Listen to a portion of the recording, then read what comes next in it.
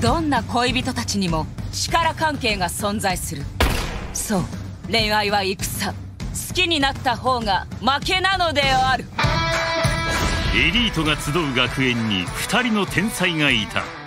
生徒会長白金みゆきと副会長篠宮かぐや。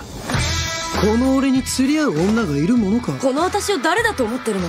まあ篠宮がどうしても付き合ってくれと言うなら。この私に見合う男に鍛え上げてあげなくもないけど確実に向こうは俺に気があるだろうし。この私に恋焦がれない男なんていないわけだし。時間の問題か。しら両者プライドが高すぎて何も起こらなかった。どうすれば？考えるんだ。白髪みゆき。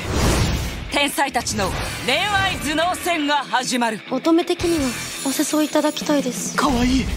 篠宮受けて立つ。俺と付き合え。どうしてそうなるの？次々と繰り広げられる頭脳戦。全て罠である。篠宮篠宮家のご令嬢が。残念ですが恋の病です。高すぎる頭脳偏差値と。低すぎる恋愛偏差値。この戦いの行く末やいかにかぐや様は告らせたい。天才たちの恋愛頭脳戦。照れてるんですか？